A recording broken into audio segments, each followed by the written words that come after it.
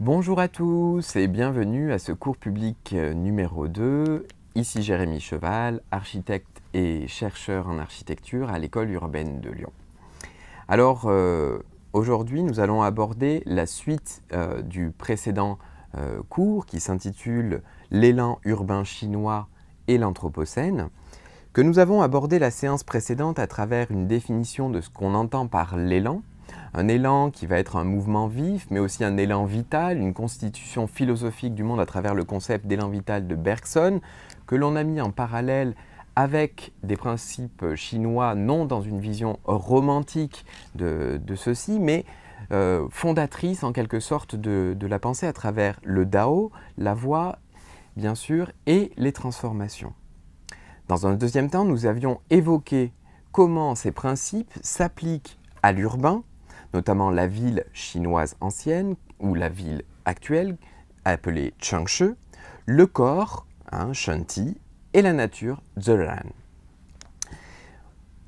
En bref, nous avons regardé comment ces principes de voie, qui cette fois-ci nous parlons de route, mais aussi de voie de développement, et sa relation avec la constitution de l'espace euh, cosmologique en rapport avec le feng shui et la nature toujours cette interdépendance entre l'espace euh, agricole et l'espace urbain chinois développé dans les anciennes villes. Dans un troisième temps, nous avons défini de manière très brève et rapide ce qu'était l'Anthropocène, d'une certaine manière, qui en chinois se dit Shi, qui sont trois caractères qui signifient ère du genre humain. Notre a priori, notre euh, hypothèse est de dire que nous vivons un en Chine différents élans urbains anthropocènes qui participent euh, grandement à la grande accélération du monde contemporain. Mais je souhaite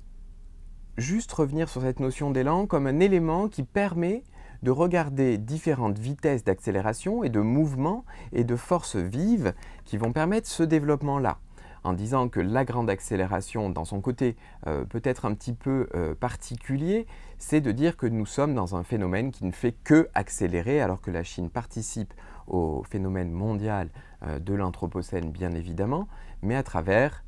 comme beaucoup de pays et beaucoup de territoires définis, à travers des mouvements où on va avoir des pics particuliers. Pour regarder cet enjeu-là, aujourd'hui, nous allons le prendre à travers trois matériaux qui sont le bois, la brique et le béton, à travers des processus de construction qu'on va regarder avec les systèmes de rétroaction qui s'appliquent à l'intérieur euh, du territoire chinois. Donc regardons la première période, quand on a regardé le graphique la semaine dernière qui va présenter la croissance démographique euh, issue du, livre de John Durand sur les statistiques de la population en Chine, on va voir des moments de comme notamment cette euh, période pré-industrielle que Scotto Di Vettimo et Yav Yemdam appellent en Chine, en se posant la question est-ce que on peut arriver dans une période où l'Anthropocène est-il un, un Sinocène Il va rentrer dans cette définition-là en se posant la question de cette période qui va être la période des Song. Alors du coup, c'est le bois, le bois qui prédominait la, la construction euh, de l'époque. Un bois qui, en Chine, on sait très bien, et on sait que les Chinois, en quelque sorte, sont les ennemis acharnés, ou étaient les ennemis acharnés des forêts, comme le précise euh, Jean Dorst dans, son livre Avant que la nature meure, et que je vais remettre en parallèle avec ce qui se passait bien avant les Song, qui s'appelle euh, la période des, Tang, quand Wang Wei, un poète de la dynastie, va faire cette peinture qu'il va appeler Rêve d'un passé, qui est Man Hui Wang Xi. Ce qui est très intéressant, c'est qu'effectivement, la, forêt et l'utilisation du bois comme un système de construction et comme un espace utilisé euh, par les Chinois va devenir un véritable support pour différents éléments, et notamment la ville. Donc au XIe siècle, euh, au XIIe siècle, excusez-moi, va être créé le manuel de construction de Li qui s'appelle le Ingzao Faoshe. Ce qui est très intéressant, c'est qu'on va arriver à la période des Song, où l'architecte de l'empereur Ruizhong, face au développement euh, démographique et aussi au développement des villes, va induire tout un système constructif tel un manuel de construction, car on ne parle pas d'architecture, mais bien de construction à l'époque, le métier d'architecte n'étant pas euh, défini comme tel et le mot lui-même n'existait pas, eh bien ça va être un système où principalement on va avoir des éléments en bois qui vont être définis comme des éléments constructifs. Donc on va avoir la construction en ossature bois, hein, qui va être euh, principalement des charpentes, qui s'appelle damujo, où on va avoir des détails d'un système constructif qui va s'adosser au précepte d'un élément en, perpétuelle transformation en disant que ce soit pour un pavillon, que ce soit pour un détail technique, que ce soit pour un élément qui va constituer les imbrications en bois, car on va parler d'imbrication et de système constructif en tenon et mortaise, avec un système qui peut être déconstructible, démantelable, déplaçable. Donc on va avoir différentes pièces qui vont être euh, présentées comme des pièces complexes à rainures et languettes utilisées pour l'ornementation lors de la construction d'une architrave par exemple, ou dans ce fascicule qui est présenté ici, de ce petit fascicule, on va avoir tous les systèmes d'imbrication entre les éléments en bois qui vont permettre à la structure forte de tenir les charpentes. système constructif qui s'adosse encore une fois en relation entre la construction et la famille, où chaque maison était constituée, comme je le disais la semaine dernière, jiating et jiaren, qui sont les mêmes bases grammaticales, qui veut dire le foyer et la famille, avec un système de poteaux et de poutres, et on va tenir toute une, en quelque sorte, généalogie euh, architecturale en bois qui va porter sur un porte-à-faux pour créer de l'ombre et un toit qui va protéger la famille qui se trouve en dessous. Tout ce système constructif est démantelable, peut se déplacer. La famille meurt, la maison meurt. Les éléments peuvent être déplacés, reconstruits, réutilisés. L'objectif était d'utiliser aucun élément qui permettait euh, d'abîmer le bois. L'autre élément fort, bien sûr, donc là on parle d'un détail constructif et, et euh, physique qui est le bois, va être vraiment cette force vive. Cette force vive de la période des Song, où au moment où Bianjing qui est la capitale des Song du Nord, va jouer un rôle fondamental dans la constitution euh, d'une vie au quotidien très très forte, comme notamment on peut le voir sur, ce, peinture, sur cette peinture qui s'appelle Qingming San Retu, qui est euh, en français le jour de Qingming au bord de la rivière. De la rivière serait une représentation de Zhang Zheduan, qui n'est autre en quelque sorte, je, suis en train de vous présenter la Joconde chinoise, la peinture qui mesure 5 mètres de long et 24 cm de large, qui est un rouleau qui, euh, qui a été peinte au XIIe siècle et qui représente Bianjing, autrefois euh, la capitale des Song. Donc ce qui est intéressant, cette peinture qui est, euh, aujourd'hui au Palace Museum à Pékin,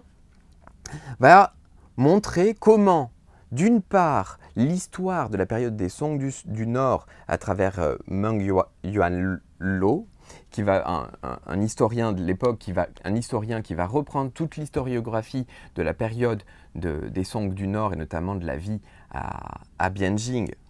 en imaginant que ce rouleau est bien une représentation de cet espace, mais ils vont en définir comment se fabriquer la construction. Et quelle était l'organisation sociale de euh, la ville à travers ce rouleau qui va jouer un rôle fondamental sur la compréhension de, euh, de l'histoire de cette époque. Donc par exemple, je vous montre ce petit détail qui est un pont en charpente en bois qui, qui, forme une arche sans support. Hein. donc c'est très intéressant parce que ce système constructif, même à l'époque contemporaine, reste un questionnement et des systèmes qui à travers ce dessin et des éléments constructifs sont reproduits pour essayer de comprendre comment à travers des poteaux en bois simplement écorchés et attachés avec et sanglés vont permettre la constitution d'un pont qui va traverser une rivière. Donc on a des éléments constructifs en bois qui vont servir d'éléments historiques qui vont reprendre des éléments du Yingzafashe. Donc on a une période culturelle très très forte où au-delà de la construction, si on revient aux matériaux et qu'on regarde en détail euh, les différents éléments euh, de ce rouleau, on va y voir une architecture avec de la tuile en briques, enfin en terre cuite euh, de la terre grise, hein, qui comme on le disait à l'époque, c'est des, des, tuiles qui sont fabriquées sur la cuisse, c'est tout simple, on prend un élément plan et on va le poser sur la cuisse et la tuile va faire pile la taille de la cuisse et va pouvoir permettre d'avoir une certaine coupe pour constituer les toitures et tout le reste des constructions sont en bois. Au-delà de ça, quand on voit l'image euh, des différentes activités qui sont présentes, on va y voir une ville florissante, une ville très active, qui va avoir d'une part une première représentation dans le rouleau qui est un transect, on va dire, de la, ville, hein, une coupe, une vision de 5 mètres sur quelle pourrait être l'entrée et la sortie de la ville de, Kaifeng. Ce qui est intéressant, c'est qu'on va y voir le rapport avec la nature, le rapport avec l'extérieur, comme par exemple ce dessin en bas, euh, à droite, où vous voyez euh, un, groupe de personnes qui est en train de porter, euh, en train de porter un élément, quelqu'un sur un cavalier, et qui sont en train de revenir finalement de la visite des tombes qui faisait partie des espaces funéraires en dehors de la ville, mais aussi on va y retrouver des marchands, on va y retrouver tous les, tous, les espaces agricoles qui sont utilisés, mais également à l'intérieur de la ville, on va y retrouver vraiment tous les travaux, les artisans, des restaurants ou à gauche. Vous pouvez voir qu'il y avait de la mendicité. On va y définir vraiment quels étaient les modes et la mélange sociale qui pouvait y avoir dans cette ville, comme ce vendeur ambulant qui est en train de vendre des petits euh, éléments aux passants. Donc ça, c'est assez important de comprendre que la période des Song est un moment où la ville et la culture va amener à une période croissante et grandissante qui va se développer encore plus fortement quand on va en arriver à la période des Song du Sud. Donc les Song du Nord, si on en revient à la question de la forêt, avaient déforesté toute la zone autour de Kaifeng, mais utilisaient les forêts effectivement pour se protéger également des invasions du Nord. C'est-à-dire on constituait des forêts comme un élément défensif entre des forêts sont très faibles. On va se retrouver vers un repli des Song du Sud à partir de 1125, 1127, où Ranzhou va devenir la capitale des Song du Sud, euh, les empereurs de l'époque pensaient que c'était un élément temporaire mais qui allait durer une période de 100 ans. Vous allez voir cette, ville qui est constituée autour euh, du lac euh, fabriqué artificiellement comme un élément fort de la ville de Ranzhou. Et on va avoir une explosion démographique et une explosion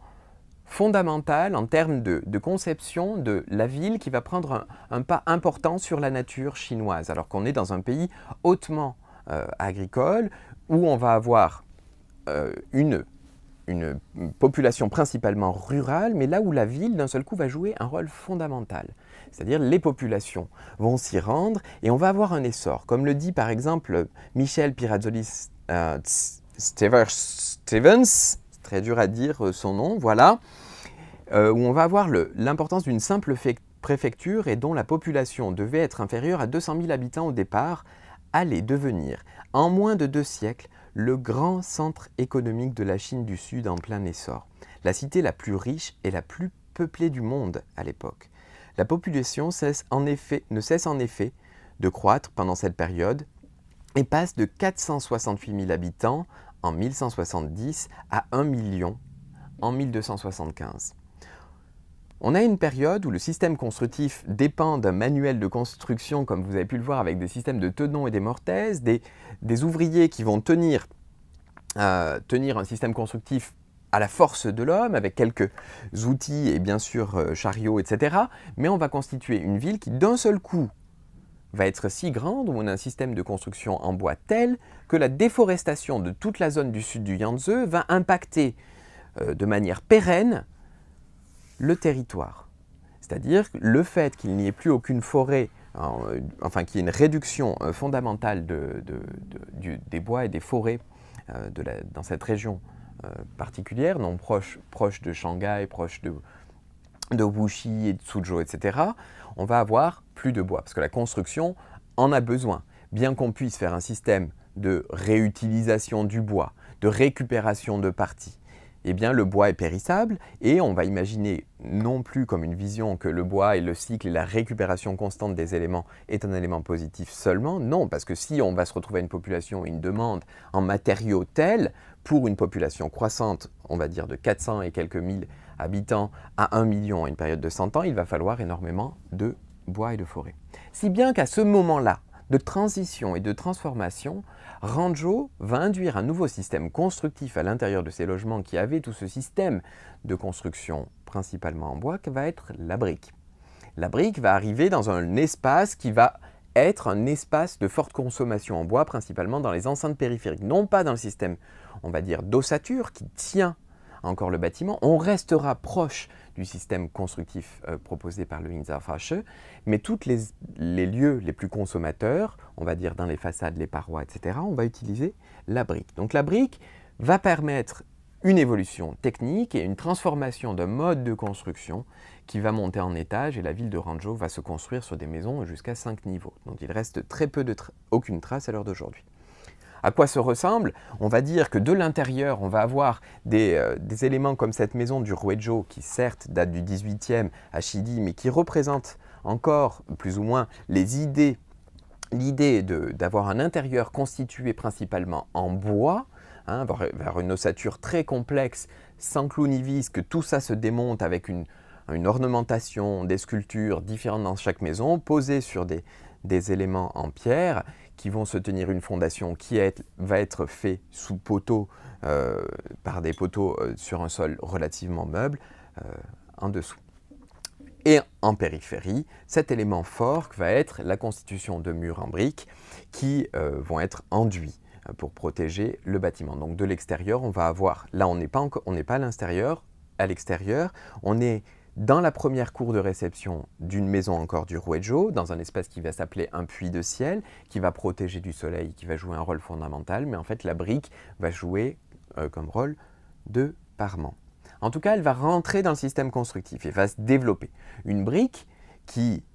dans l'histoire de la construction des briques chinoises, va être de la brique en terre bleue qui justement vient de cette euh, région particulière et qui a cette particularité par rapport aux briques que nous connaissons en Occident d'être beaucoup moins ductile, c'est-à-dire beaucoup moins friable. Pourquoi? Parce qu'on reste dans cette, cette idée encore à l'époque de la maison qui peut être démantelable, déconstructible.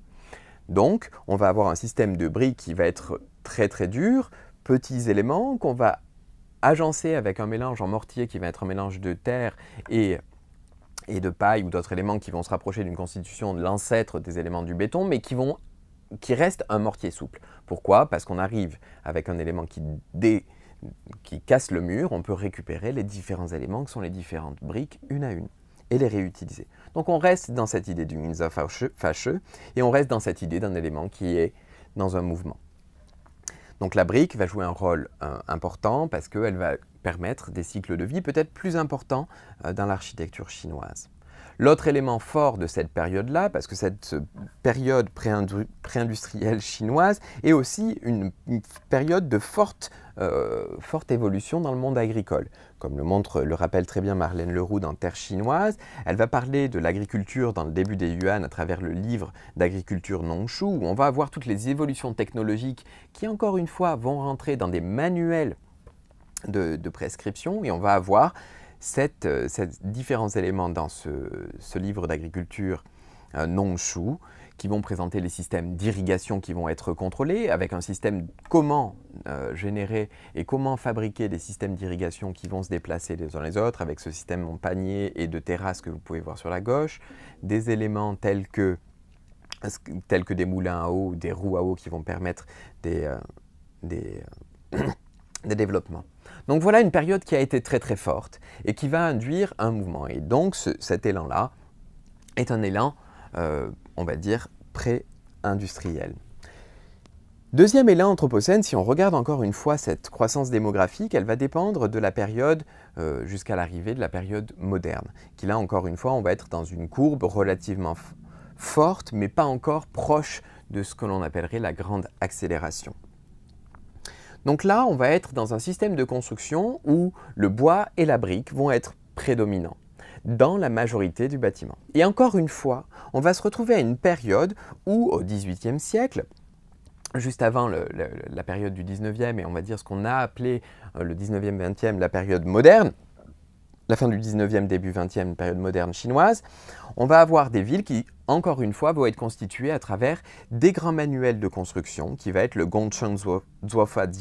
euh, Zeli, excusez-moi, qui va présenter des méthodes et modèles de construction publiés en 1734, sous la période des Qing,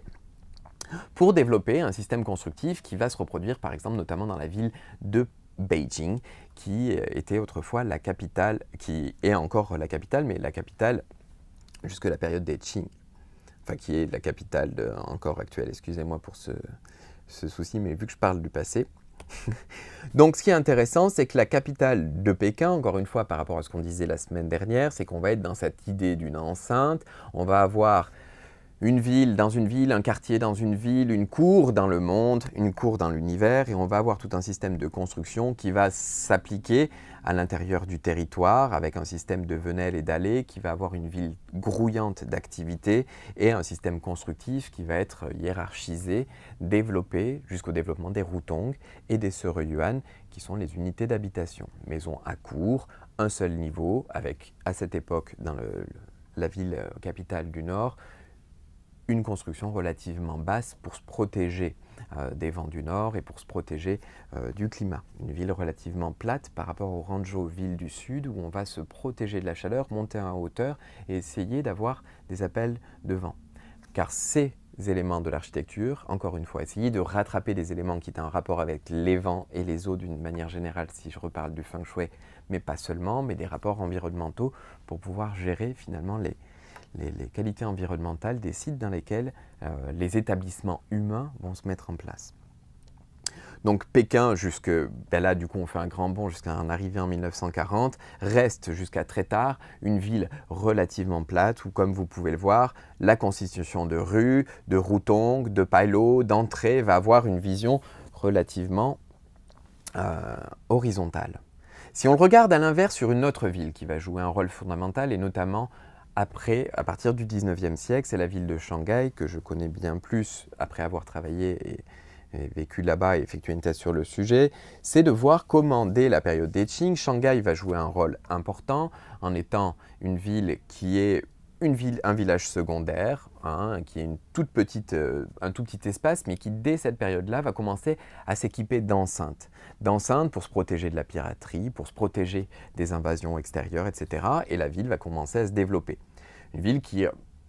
qui, n'avait pas vraiment d'importance encore à l'époque, et comme on peut le voir encore sur cette carte de 1878 euh, de, sur qu'on a extrait de Virtual Shanghai, un très très beau, très très bel espace que Christian Henriot avait mis en place pour euh, les archives, des archives sur la ville de, Shanghai, permettent de voir ce qu'était cette petite, euh,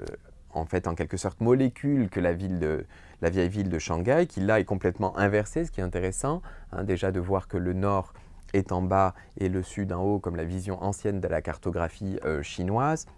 va être à travers ces flux et ces déplacements d'entrée de canal. Une ville qui est constituée effectivement de canals depuis l'ancienne enceinte jusqu'à l'arrivée des étrangers et euh, le, traité de Nankin, la, fin de la guerre de l'opium. Nous sommes en 1845, le traité de Nankin va être signé, les Britanniques vont s'installer, suivis des Français et des Américains en 48 et 49 sur le territoire et avoir des enclaves semi-coloniales sur, sur la ville de Shanghai. Ce qui est intéressant à ce moment-là, c'est qu'on repasse à un moment où, par la pression de l'étranger, le pays va se réouvrir. Hein. C'est-à-dire que la période des Song est une période d'ouverture culturelle, d'ouverture sociale et d'ouverture de fabrication. Encore une fois, cette période-là, à partir de, la, proche de la fin des Qing et au moment de la réouverture, euh, bah, de la réouverture en fait, de la chute des Qing en 1900 on va avoir des phénomènes de plus en plus ouverts. Et plus la Chine va s'ouvrir après s'être mis à l'écart et s'être mis loin de ces espaces portuaires d'échange avec le monde, va se retrouver dans une dynamique où la ville va reprendre de l'importance et où la population va se déplacer vers les villes et où on va avoir des phénomènes d'urbanisation. Donc,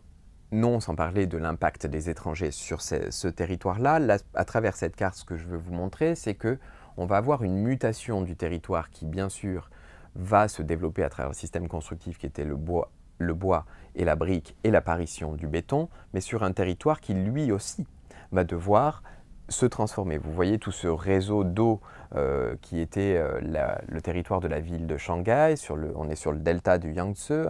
un, des deltas les plus grands de la Chine. Et la ville était constituée côté Pudong et côté Puxi, qui sont côté est et côté ouest du Huangpu,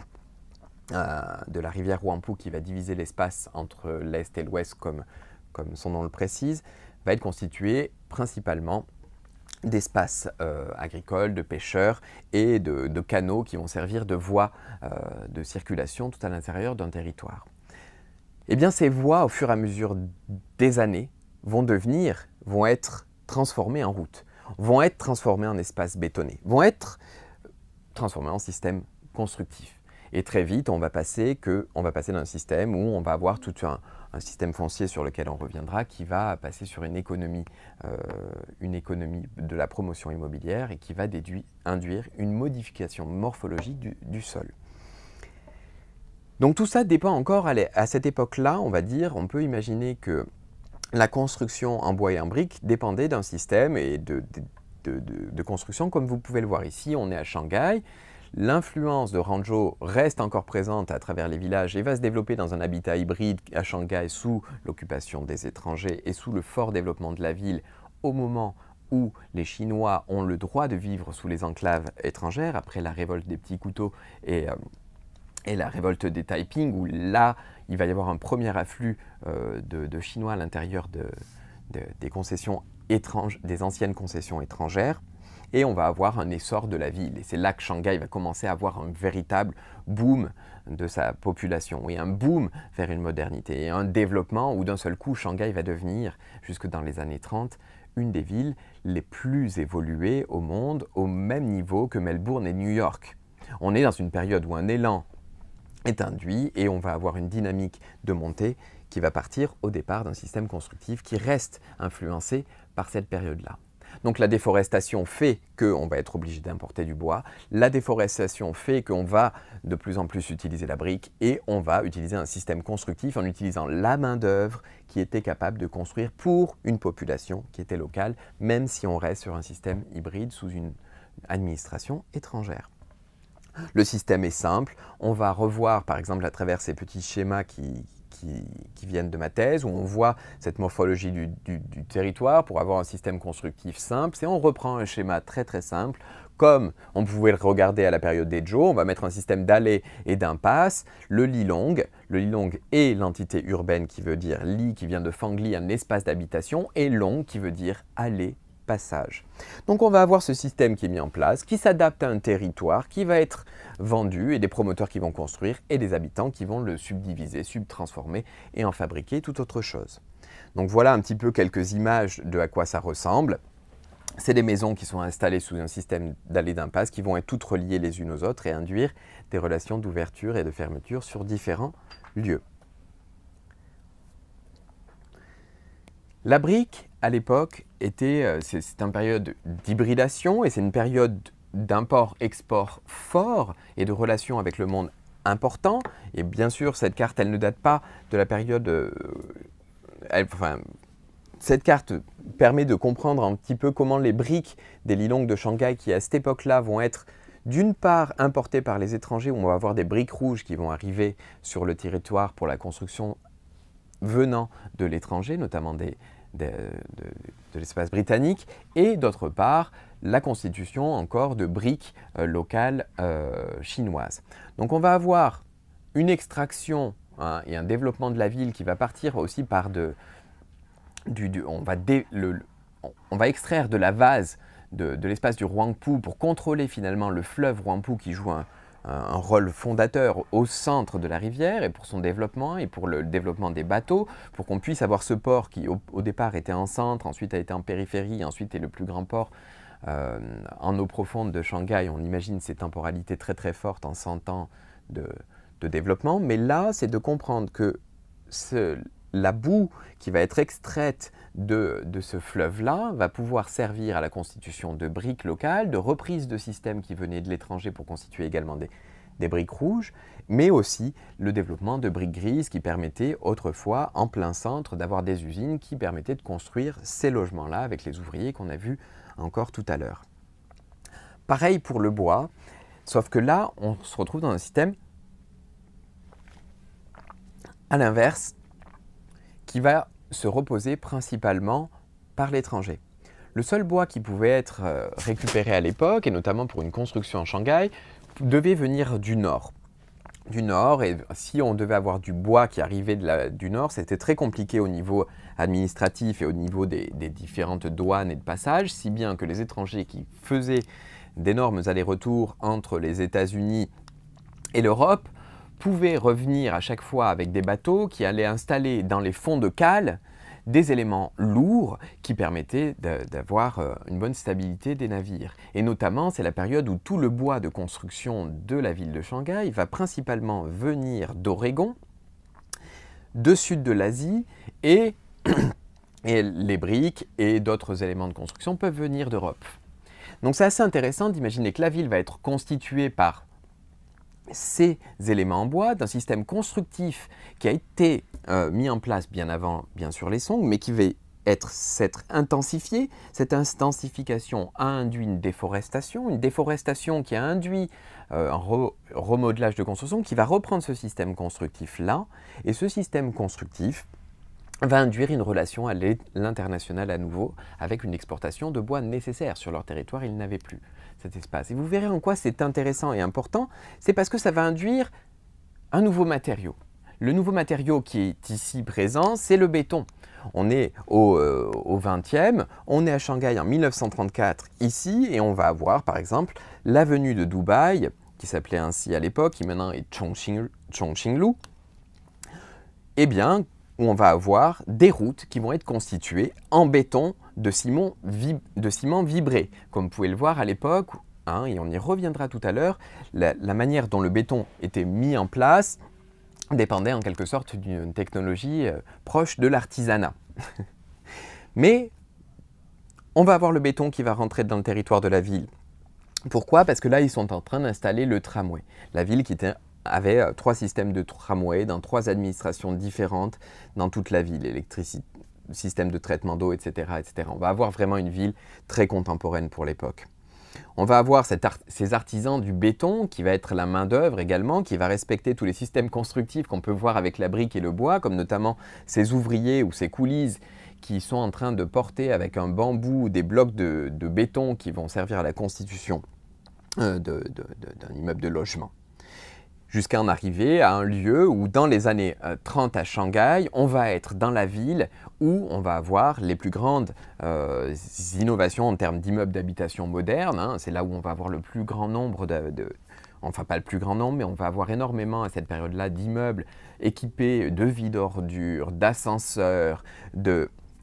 d'ascenseurs, d'éléments, qui font partie de ce développement moderne que l'on entend partout dans le monde. Tout cela en suivant une modénature architecturale très complexe et avec des systèmes constructifs qui restent proches d'un système local, comme vous pouvez le voir avec ces magnifiques euh, échafaudages encore en bambou.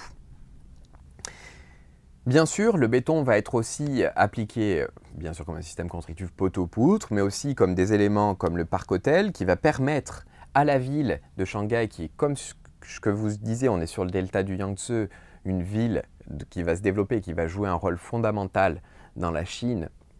contemporaine, mais qui était boudée en quelque sorte de, tous les pouvoirs des différentes dynasties, parce que principalement c'est un endroit où le sol est meuble, où le sol est vaseux, et construire est relativement compliqué. Hein, c'est comme si d'un seul coup, euh, l'exemple que j'utilise très souvent pour expliquer à mes étudiants d'architecture à Shanghai, comment feriez-vous euh, euh, tenir une brique sur un flanc? Hein, si vous avez un flanc, vous voulez faire tenir une brique dessus, ben, il n'y a pas beaucoup de solutions. Vous faites soit une fondation en radier, hein, donc un radier ça va être quelque chose qui va permettre de,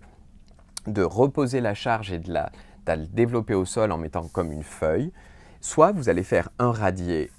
plus ou des poteaux. Vous allez mettre en quelque sorte plein de cure-dents dessous et ça va peut-être tenir. En d'autres termes, les constructions des longues, c'était avec un système de de, poteaux qui étaient euh, avec des fondations linéaires qui allaient sur le sol et qui reprenaient cette structure en bois qui allait soutenir la toiture et ensuite les briques en parement. Ce n'était pas tout le long de l'espace du mur. Ici, on va devoir construire et monter en hauteur, comme ce magnifique parc-hôtel qui a été construit par Laszlo, Hudek, un architecte hongrois-slovaque, qui a constitué cette tour qui fait 80, 83 mètres euh, de haut et qui a dominé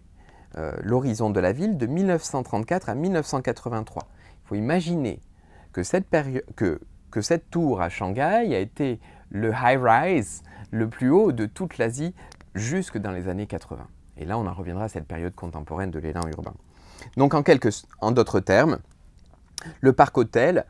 pour sa constitution en béton, et le béton va induire une évolution technologique fondamentale qui va être également la montée en hauteur, par des fondations où on va avoir des fondations avec des pieux qui, là encore une fois, c'est très intéressant pour ce, bâtiment-là, va être du pain qui vient d'Oregon, et on va avoir effectivement un radier énorme en béton armé. Donc en quelque sorte, jusqu'à l'évolution de la ville contemporaine, le système de radier et de béton et de, et de pieux va permettre une hybridation jusqu'à la constitution des plus hautes tours en béton avec un système de radier mélangé à un système de pieux simplement en béton pour en arriver à la deuxième tour la plus haute du monde. Mais en attendant, jusque, jusque dans les années 80, cette euh, tour restait la plus haute. Les autres éléments en béton vont permettre aussi au développement de bâtiments industriels. Alors j'ai choisi de vous montrer euh, un des bâtiments industriels de Shanghai de l'époque euh, de 1933 qui me paraît être le plus, le plus original d'une certaine manière, ce qu'il est construit par Balfour, mais qui était constitué en béton, qui va permettre une nouvelle modénature, une nouvelle stylistique, mais aussi une nouvelle gestion de l'espace industriel et une réflexion de l'espace industriel fabriqué par les architectes où l'espace est conçu en même temps que euh, le fonctionnement. C'est-à-dire qu'on est dans un lieu où en fait on va être dans l'abattoir de la ville de Shanghai qui va nourrir en viande un tiers de la population, qui est pensé à travers le béton, qui est pensé à travers l'architecture, et la, technicité de pouvoir tuer une vache, un cochon ou autre passe par un système constructif où autour d'un cœur central, où va être l'endroit où je vous montre la belle image, écartelé et toutes les nouvelles machines où les porcs où les vaches vont pouvoir être tuées, écartelées et transformées sur place, vont dépendre d'un système d'articulation où les animaux vont pouvoir monter sur trois étages et rentrer par un système de, passerelles jusqu'à l'élément central qui est un cercle qui, qui est l'espace de la mort. Donc elles sont calibrées, elles sont vivantes jusqu'à ces passages et elles vont rentrer dans l'espace où elles vont être conditionnées et mortes. Et tout cela va dépendre d'un canal, le canal qui va être ici, et tout ça n'est possible que par la constitution d'un élément constructif en béton qui va monter en hauteur, qui va devenir un mécanisme, euh, un mécanisme de construction industrielle qui à l'époque était pensé aussi par l'architecture, jusqu'à ce qu'on en arrive à l'époque d'aujourd'hui où, bien sûr, les abattoirs sont pensés à, l'inverse par, par la fonction et euh, la manière dont les machines s'insèrent à l'intérieur des espaces. on n'est pas du tout dans le même débat. Pour en arriver à la période contemporaine, et ça y est, on en arrive à la, moitié de cette heure, où on rentre dans l'époque contemporaine. L'époque contemporaine où la grande accélération, ici, il y a deux questions fondamentales qu'il faut se poser, c'est-à-dire que si on se pose la question d'un élan urbain euh, chinois vers une période ouverte, eh bien, et qu'on se base sur la grande accélération Steven, où on va dire qu'à partir du moment où euh, la, première euh, bombe nucléaire explose et va irradier sur la, pas irradier, va déposer des particules sur l'entièreté du globe, eh bien, on est en 45 et on va se dire que cette période-là va induire un développement vers cette grande accélération qui en Chine n'est pas sur les mêmes euh, dynamiques historiques. On est sur une dynamique historique qui, bien sûr, quand on regarde sur ce graphique-là, entre 1900 et aujourd'hui, une courbe qui là d'un seul coup s'accélère. On va parler euh, d'une montée extraordinaire. Montée extraordinaire qu'on pourra remettre en parallèle avec différents éléments très rapidement euh, ici. Mais en parallèle, on est à la période de la fin de la République de Chine, le début de la République populaire de Chine, 49, Mao au pouvoir, Pékin va reprendre la, force et la ville va jouer trois rôles. Ici, je ne vais pas présenter en quelque sorte le, rôle du maoïsme à cette période-là, mais vous rappelez trois éléments fondamentaux en rapport avec la constitution des villes. Premièrement, la ville, à la période euh, maoïste, doit passer d'un système de consommation à un système de production. Production qui, ici, dans cette photo du, Shanxi, va donner un imaginaire différent euh, que celui de la ville de Pékin, mais qui va induire aussi ce développement des industries lourdes dans l'espace rural un élément qui va mettre en place très rapidement, ça va être le contrôle des populations entre un déplacement rural et un déplacement urbain. D'où le fait qu'on va se retrouver à une courbe de la population en milieu urbain qui va stagner, voire descendre à une période de l'histoire. Ainsi, la ville devient un espace productif. La ville de Pékin, notamment, c'est au lieu des routons qu'on veut voir les cheminées sortir à la place des logements on veut voir exploser les espaces. Pareil, c'est une période où, à partir des années 1955, on va créer des grandes avenues et on va partir sur le modèle des constructions soviétiques et sur un modèle constructif pour une majorité de la population, dans tout ce qui est habitat, euh, habitat nouveau, avec un système d'équité pour les ouvriers, rattaché aux unités de travail, et on va avoir cette architecture brutale, en quelque sorte soviétique, jusqu'à le développement de quartiers ouvriers, comme notamment euh, Cao Sinsuan à Shanghai, où on va avoir cet idéal qui, là encore une fois, dans la ville de Shanghai, va reprendre, si vous voyez les images, euh, en voyant les images, vous pouvez voir qu'il y a un rapport euh, assez, intéressant entre ce type de quartier ouvrier et ce qui pouvait en être euh, la constitution des Lions jusque-là. Mais à l'inverse, dans les villes, la transformation reste intérieure. C'est plus un fonctionnement, c'est plus une, cristallisation. Les euh, instruits vont être envoyés en campagne. La période du grand bond en avant, qui n'est pas le plus grand élan urbain que l'on peut connaître. Donc du coup, si on regarde la population entre l'échange rural et urbain avec une vision ancienne et pronostique euh, qui vient des, United Nations, cette donnée de 2018 nous permet de voir le moment où on va avoir une transition urbaine, ou d'un seul coup, en fait, en Chine, le moment où il va y avoir autant d'urbains que de, de personnes qui vivent dans des milieux urbains que des personnes qui vivent dans le milieu rural, c'est seulement en 2010. Et ça, c'est très important de le, garder, de le garder en tête. Et effectivement, ce mouvement était et est prédit comme un élément qui doit continuer de monter jusqu'à en arriver à aujourd'hui, ce qu'on est proche de 1,4 milliard euh, d'habitants en Chine, avec 800 millions euh, d'habitants en ville, ce qui représente pratiquement déjà 60%, mais en dessous. Or, on est encore dans un contrôle où on peut gérer la population entre le système administratif mis en place entre rural et non rural, qui est le RUCO, mais on en reviendra on reviendra dessus plus tard. Ici, c'est pour dire qu'on est sur un moment, encore une fois, entre les années 90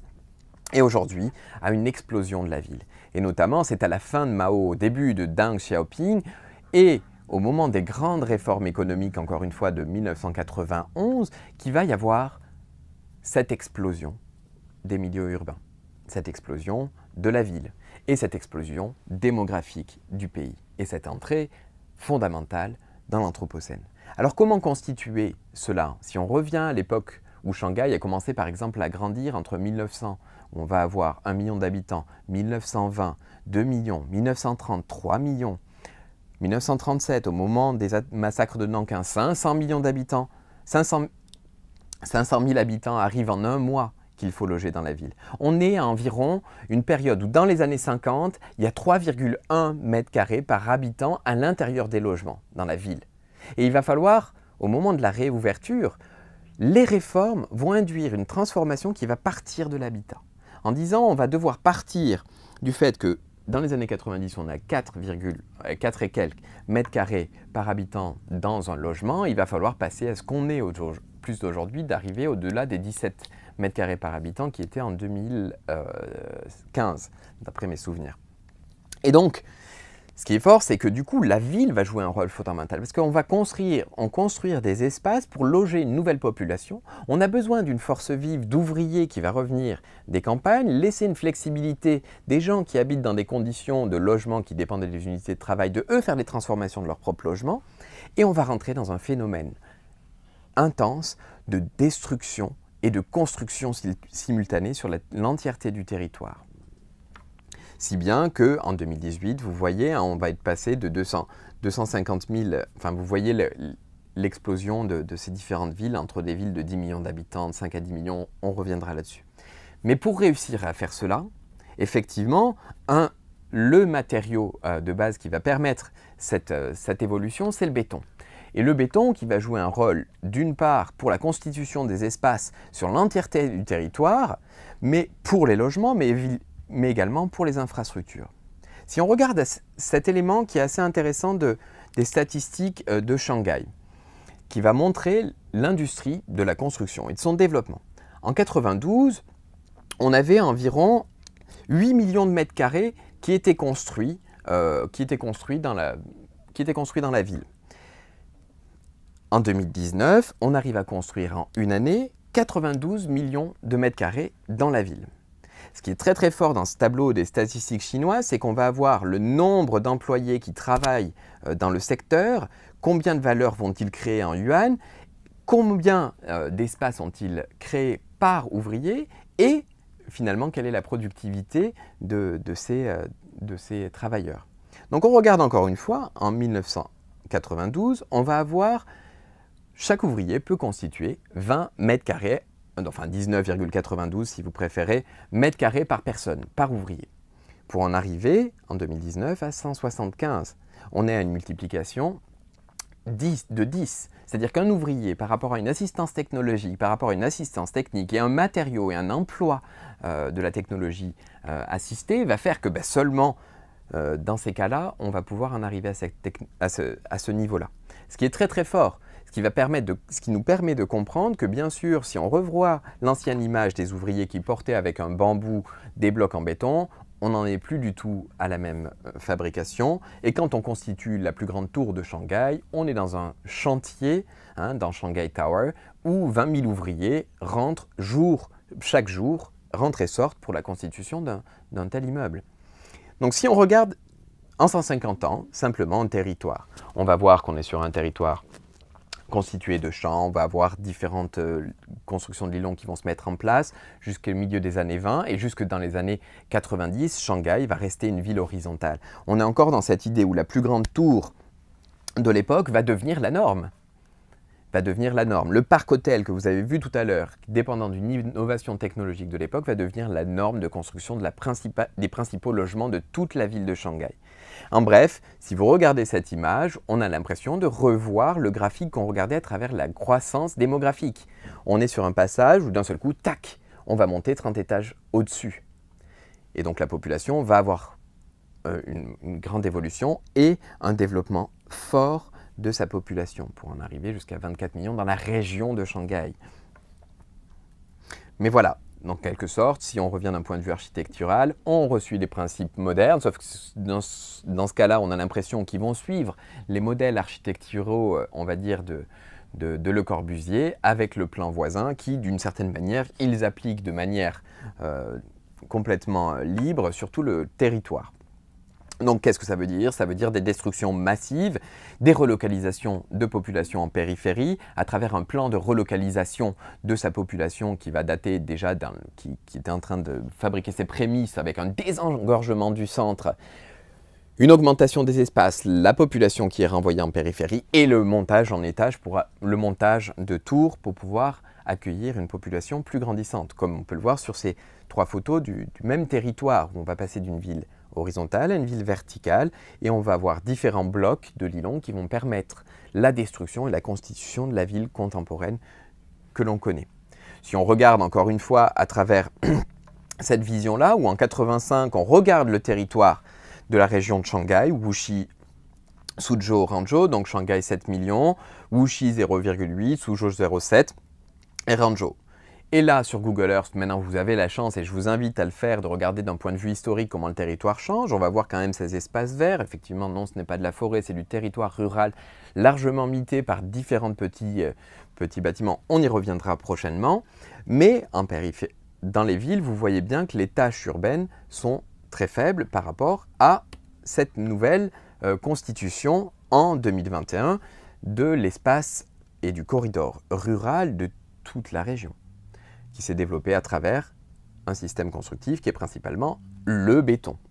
qui, par exemple, on regarde ces chiffres de 2017, représente 2,4 millions, milliards de tonnes de béton ont été utilisées en Chine, alors que le monde, dans son, le monde, enfin les autres pays du monde, utiliseront environ 1,5. Ça, c'est une partie, mais l'autre partie qu'il ne faut jamais oublier, c'est que l'utilisation du béton est telle il va falloir utiliser bien sûr carrière, de l'extractivisme et des éléments très très forts, mais en parallèle, il va falloir continuer la destruction pour pouvoir s'installer sur un territoire qui est celui euh, qu'une ville qui est déjà existante. Donc 3 milliards de tonnes de déchets de construction et industriels sont également produits. Il faut imaginer ces deux-là en parallèle. Donc bien sûr, si on regarde n'importe quelle photo, et ça c'est très intéressant, vous prenez une photo n'importe laquelle que vous auriez si vous voyagez en Chine, et vous regardez le pourcentage de béton de la vue d'une photo. Tout dépend du cadrage, bien sûr, mais bien souvent, même si vous avez du linge qui sèche devant, vous allez arriver à une dominance de l'élément béton sur les images que l'on regarde. Béton qui, grâce au pouvoir de Sinopec et au développement de Sinopec pour, en quelque sorte, échapper à la dominance euh, du pétrole sur l'entièreté du territoire, va induire aussi un développement de du pays en réseau à travers un système d'infrastructure. Notamment, on va se retrouver euh, sur, la, sur, la, ville de Shanghai avec 13 065 km d'autoroutes surélevées qui vont être créées et des éléments en train aussi qui sont de 460 km ou 860 en périphérie. Tout ça construit sur des elevated roads, sur des highways, sur des autoroutes surélevées, principalement fabriquées en béton, pour un souci de rapidité, de fonctionnalité, mais aussi d'utilisation euh, d'un médium qui va être le béton et qui se développe sur l'entièreté du territoire chinois dans ces dernières années, pour constituer un réseau,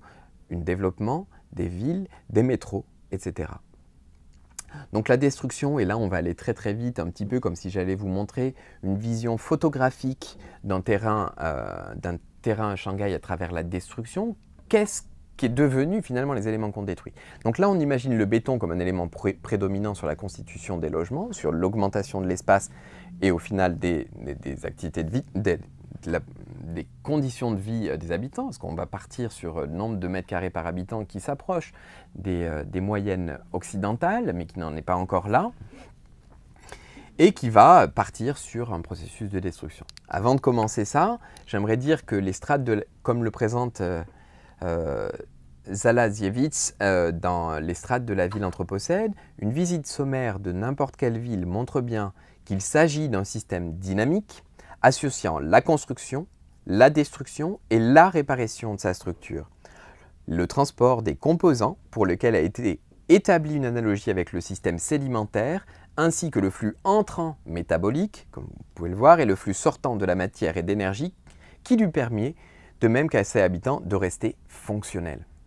Donc on est dans un système fonctionnel où la ville va détruire, on va couper des bouts de logement, on va reconstituer des nouvelles rues. Vous voyez encore une fois ici la prédominance euh, du béton et malgré tout euh, du système de Lilong qui est juste à côté et qui reste, l'allée qui a été coupée, en bref, en quelque sorte écorchée, les habitants qui eux continuent d'avoir leur habitude d'être au milieu de leur allée où les voisins étaient de l'autre côté, et la constitution d'un élargissement de voies de la ville de Shanghai. Les Lilong qui représentaient 80% du logement encore dans les années 90, sont détruits à environ 90%. Il n'en reste environ que 3000, mais on ne peut pas vraiment vous dire le nombre d'espaces sur la totalité du territoire, c'est trop mouvant.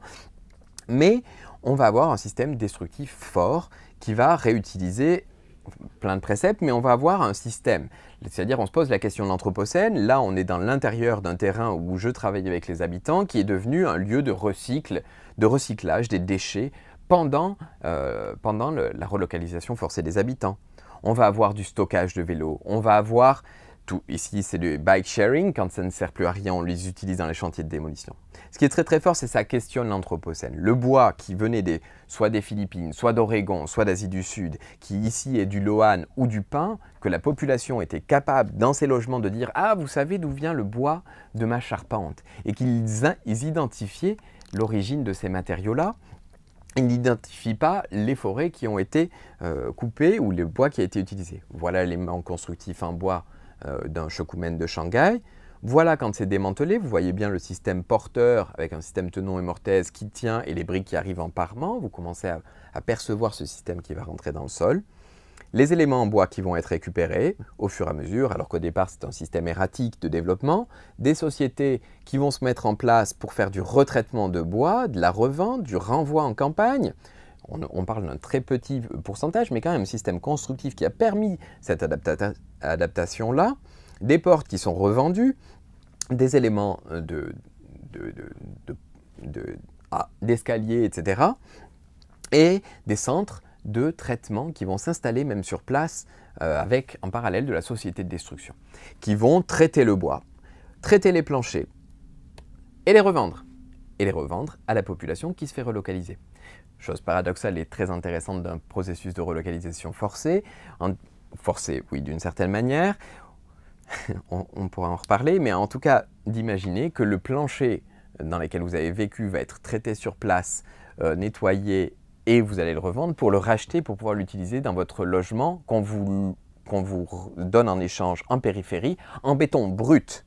C'est-à-dire qu'il y, a, une chape en béton au sol, vous n'avez rien à l'intérieur d'un logement, vous échangez un logement pour un autre et vous allez avoir de l'argent pour euh, aménager et euh, transformer l'intérieur des logements. Et très souvent, ils vont acheter du bois qui provient de leur propre logement traité sur place. Tout ça se développe avec un système, on va dire, de l'informel à travers les sociétés de destruction et de l'ultra-informel avec tout un réseau de chiffonniers aujourd'hui euh, interdits qui, eux, allaient fabriquer tout un système de récupération des microdéchets que la société de destruction ne voulait pas. En bref, on revient encore dans ce dynamisme de la population et ses différentes couches de population et ses différentes vivacités d'éléments qui vont induire finalement un, un fonctionnement pluriel euh, d'une ville qui est en train de se constituer. Vous voyez cette tour en arrière et vous voyez ce chiffonnier ici. On est dans la, zone 2 du quartier de Xintiandi de Shanghai qui est très connu pour celles et ceux qui connaissent. Et là, on est dans une période d'entre-deux et on va encore avoir des chiffonniers qui vont venir récupérer les, euh, quelque sorte, petites miettes qui tombent. Alors pour faire un petit parallèle assez intéressant,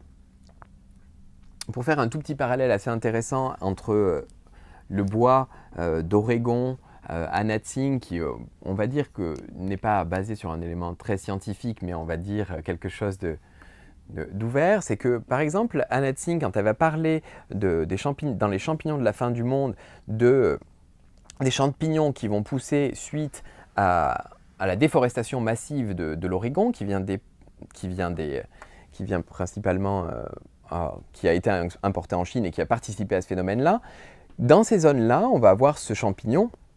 qui va pousser, qui est très apprécié euh, des Chinois et des Japonais, et qui est une population au marge, aller récupérer dans les débris euh, ces champignons qu'ils ont rentrés et revendus dans un système international. Ici, on peut refaire ce parallélisme-là. Imaginons que le bois est réutilisé et qui vient de cet Oregon. C'est une population qui mangeait, qui a pris ses habitudes alimentaires à cette époque où la déforestation, principalement, c'est euh, ce bois-là, ben, il y avait effectivement ces champignons sur cette part géographique et qu'ils ont commencé à manger à cause de leur, euh, de leur déforestation, et qui, par effet de, de, boucle et de rétroaction, se retrouvent aujourd'hui à avoir tout un réseau de chiffonniers et informels des marges de la population qui, dans les chantiers de démolition où ce même bois, où ces mêmes briques, où ces mêmes logements sont en train de créer, créent une nouvelle dynamique d'informalité dans laquelle ils vont être complètement indépendants, être interdépendant d'un système mondial. Car il faut imaginer que ce chiffonnier qui est devant vous vendait en partie des briques qu'il sélectionnait à un Allemand qui collectionnait ces éléments-là. On est sur une période où n'importe quel phénomène nous ramène sur une relation entre un élément ultra-local et un élément mondial dans différentes marges et couches de la population.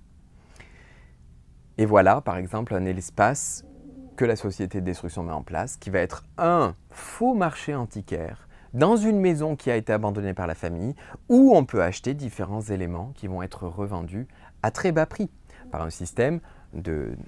très connu euh, du, sud de la Chine. Parce que ce qui était intéressant, c'est d'imaginer que le, système constructif, qui était tellement démantelable et déconstructible, a induit des sociétés de démolition dans la, zone sud, euh, de, dans, la région du Ruizhou et la région de Shanghai, une connaissance de la déconstruction en bois telle que on pouvait prendre des parties ou des tout du bâtiment pour les vendre à des riches collectionneurs. Hein, ça, on a pu le voir comme des maisons qui ont été, euh,